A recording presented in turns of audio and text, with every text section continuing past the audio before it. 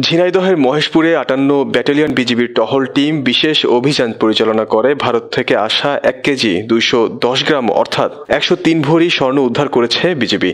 Battalion পরিচালক lieutenant colonel Kamrul Ahsan বলেন, দিনব্যাপী অভিযান পরিচালনা করে জীবননগর উপজেলার সিংনগর হালদারপাড়া নামক স্থান থেকে স্বর্ণের আংটি, ব্রেসলেট ও কানের দুল সহ কয়েক ধরনের স্বর্ণের গহনা উদ্ধার করা হয়েছে।